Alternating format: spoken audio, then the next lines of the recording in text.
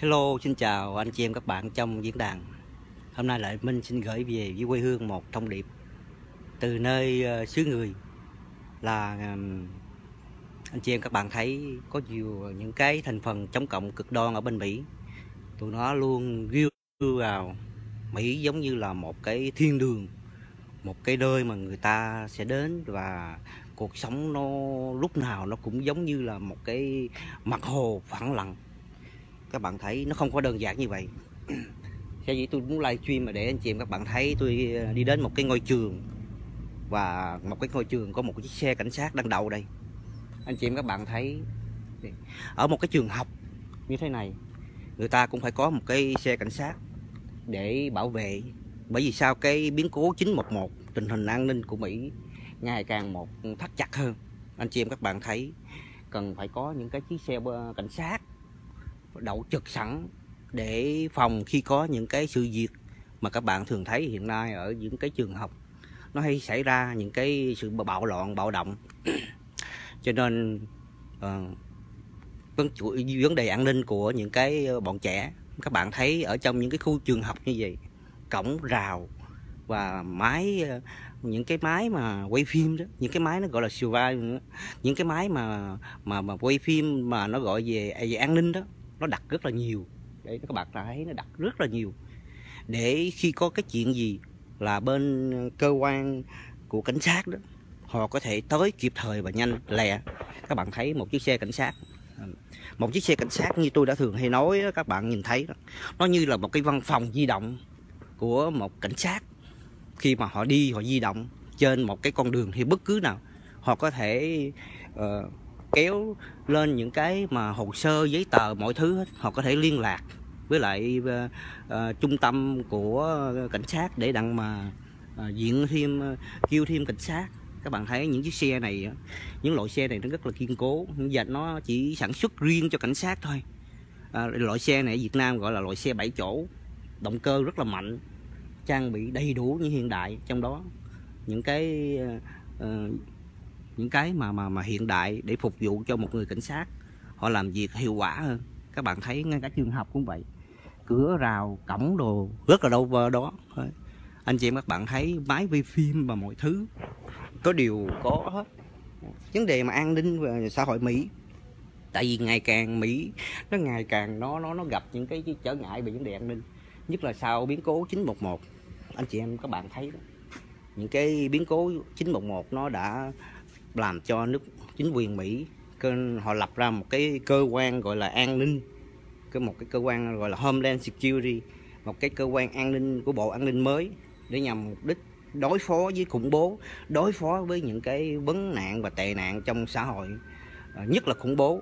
Các bạn thấy đó, khi nghe những tiếng còi như vậy đó, là nó thường thì xe đó là những cái xe cứu thương và những cái chiến, xe hoặc là xe của cảnh sát các bạn thấy những tiếng còi đó ở trong những cái thành phố những cái khu mà đô thị lớn thành phố lớn đó thường thì nó nó nó nghe hình như là hơi bị nhiều. Nó thường nghe những cái tiếng còi hú như vậy. Mỗi khi những tiếng còi hú lên như vậy là anh chị các bạn biết bên kia ngoài xã hội ngoài cái xã hội đời thật đó nó có một cái gì đó sự bất an trong cuộc sống. Mà những cái chuyến xe đó hello, hello những chiếc xe đó người ta phải hú còi để họ giành quyền ưu tiên để đặng mà họ họ họ, họ tới những cái cái cái tai nạn hay là những cái ờ, sự việc xảy ra trong cái xã hội hàng ngày. Anh chị các bạn biết đó, nhanh hơn họ luôn được ưu tiên hơn.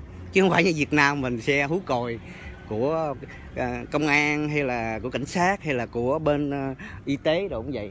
Là là là, là mạnh ai nó chạy cứ chạy thôi. Không có nhường bên này mà các bạn biết những cái xe mà của công an của cảnh sát mình hú còi vậy đó mà mình vượt qua hay là mình chạy chỉ vượt qua nó thôi đó là nó chụp hình cái nó gửi gì kìa là một cái tiết kẹt nó phạt phạt má nhìn không ra luôn á.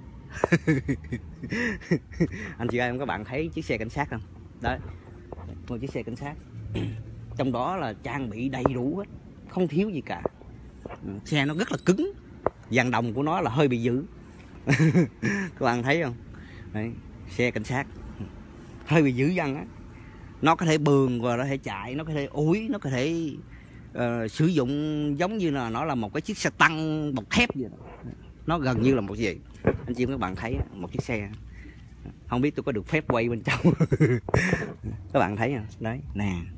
Vũ khí đồ của nó trang bị đầy đủ hết các bạn thấy không? Quay đại chứ sao nói la thì mình xin lỗi thôi.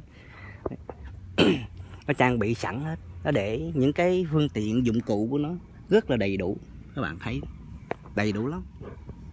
Ừ. Cho nên nó nó để nó ứng phó với những cái sự việc xảy ra. Ngày xưa không có như vậy.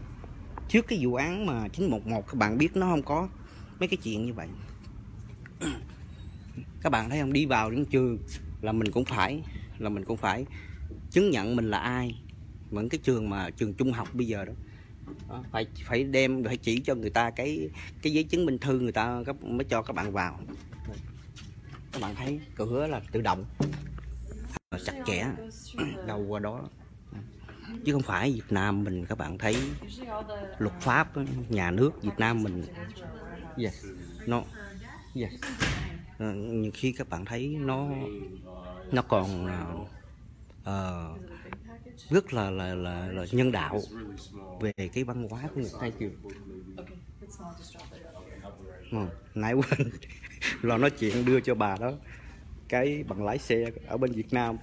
Vậy mà bà cũng nhận. Cái bằng lái xe Việt Nam à. Quên. Anh chị em các bạn thấy. Mình quên mình đưa lòn cái bằng lái xe Việt Nam mà bà đọc cũng được. Bó tay. Thiệt tình. I, think I gave you the wrong uh, ID yes. Yeah right here. I, I gave you wrong ID yeah sorry about that. Right here. That's my uh, OOID Okay. Yeah, sorry. Thank you. lo nói chuyện quên móc cái thẻ ID của Việt Nam. Với cái giấy cái giấy bằng lái xe giấy chứng minh thư của Việt Nam nói chung thì à, lại minh thấy cái gì khi thấy cái gì hay mình lên cộng đồng mạng để mình chia sẻ để anh chị em các bạn thấy là cái sự khác biệt giữa uh, Việt Nam mình và một cái đất nước như Hoa Kỳ các bạn thấy những cái khu trường học chỉ là nói về khu trường học đó nha các anh em chụp các bạn thấy là tôi quay sơ cho anh chị các bạn thấy về những cái khu trường học này.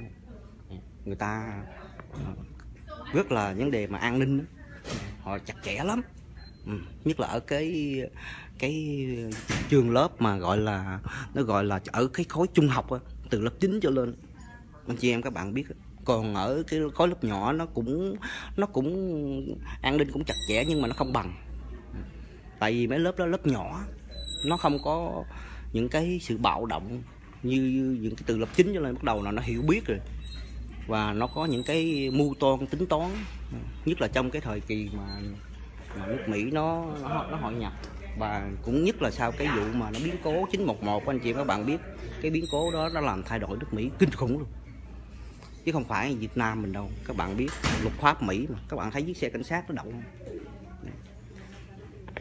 lúc nào nó cũng phải sẵn sàng và trực sẵn. Trong những cái tình huống mà có thể xảy ra bất cứ lúc nào về vấn đề an ninh trên đất Mỹ này. Ừ. Thì ờ, để mình muốn chia sẻ với anh chị em các bạn như thế, để chúng ta cùng nhau và học hỏi và tìm hiểu hơn, để mình có thể so sánh về cái quê hương đất nước của mình đang đổi mới dưới sự lãnh đạo của đảng và nhà nước ngày hôm nay với những cái chính sách phải nói là rất là tuyệt vời. Tôi nhiều khi nói với chị và các bạn, càng nhìn về quê hương, càng khâm phục những nhà lãnh đạo Việt Nam ngày hôm nay phải nói là họ rất là giỏi. Sẵn sàng ứng phó, sẵn sàng ờ, họ gọi là những cái mà họ, trong nước mình tôi thấy đó, cái chính sách mà để làm sao mà cho nó phù hợp, hài lòng với lại cái đất nước hiện nay phải nói là tôi nói tuyệt vời. Nếu mà nói mà áp dụng theo kiểu Mỹ đó, là anh chị em các bạn ngồi trên diễn đàn mạng này các bạn chỉ có khóc bật kêu trời thôi. Tôi hay nói cái câu này, chỉ có khóc bật kêu trời thôi.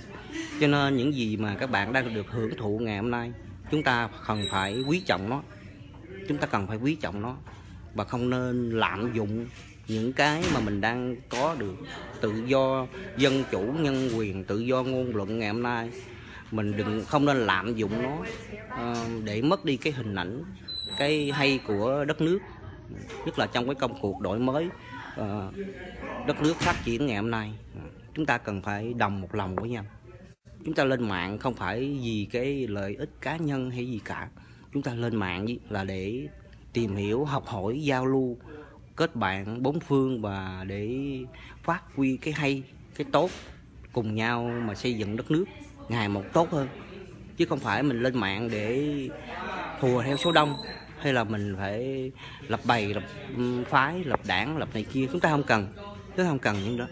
Bởi vì mỗi chúng ta chúng ta đã có một cái đất nước, có một cái quốc gia, có một chính phủ, có những người lãnh đạo rất là giỏi.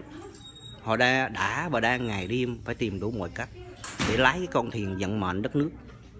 Ngày một nó tốt đẹp hơn. Chúng ta có đảng có bác có những cái chính quyền địa phương. Chúng ta cần phải uh, sống và làm một công dân tốt thực thi pháp luật và hiểu biết pháp luật thượng tôn pháp luật. Để, để đất nước mình ngày một ngày một tốt hơn. Và mình sẽ chống lại cái những cái luận điệu xuyên tạc của các thế lực thù địch uh, hiệu quả hơn đạt cái cái cái cái hiệu quả cao. Để mình uh, mình nói chung là tôi tôi thấy rằng cha anh chúng ta đã hy sinh quá nhiều cho cái công cuộc thống nhất đất nước. Mỗi khi mà lên mạng hay là ngồi nghe những cái tờ báo mà nói về những cái cha anh của mình đã hy sinh những người ở ngoài chiến trường các bạn thấy phải nói là phải mang ơn họ hết cái đời này mình trả cũng không đủ.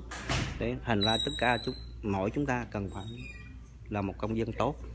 Các bạn lúc nào tôi tôi cũng uh, tôi cũng kêu thiết tha kêu gọi các bạn là mình phải làm công dân tốt sống thường tôn pháp luật và thực thi pháp luật uh, đúng với chính sách của đảng và nhà nước đề ra.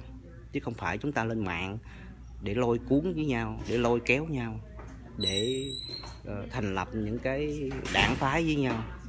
Nó phức tạp lắm nó phức tạp. Ok thank you.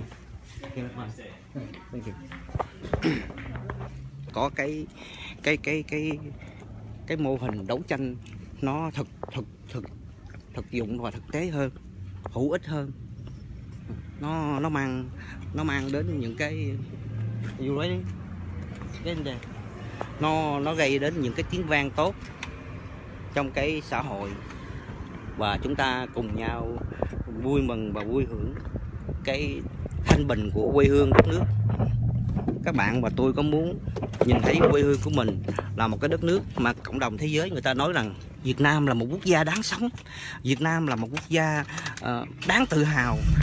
Và con người Việt Nam là một con người uh, lúc nào cũng ờ, yêu chuộng hòa bình mến khách, thân thiện và một quốc gia mà cả thế giới họ nhìn tới. Họ thấy con người Việt Nam của mình, ai cũng, người ta ai cũng muốn tới để đặng mà thân thiện với nhau. Cho nên lại mình chỉ mơ ước những cái sự nhỏ nhen như vậy thôi. Thành ra nhiều khi trên không gian mạng này, cuộc chiến nào nó cũng có những cái khó khăn. Cha anh chúng ta ngày xưa đi ờ, làm cách mạng cũng vậy. Ừ.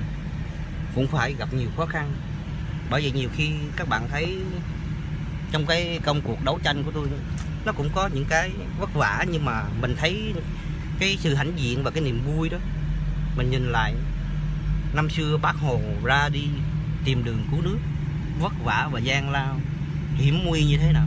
Và ngày hôm nay,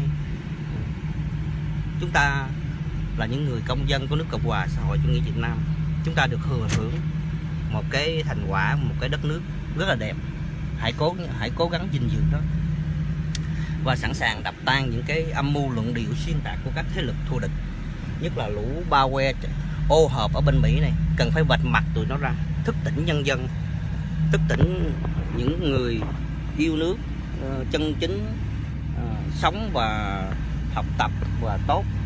Nhất là sống ờ, đúng theo cái tấm gương mà bác hồ đã dạy chúng ta chúng ta phải phải cố gắng học những cái tấm gương đạo đức đó để mình trở thành một mình trở thành những những viên đạn bắn quân thù à, không biết mệt mỏi và không sợ.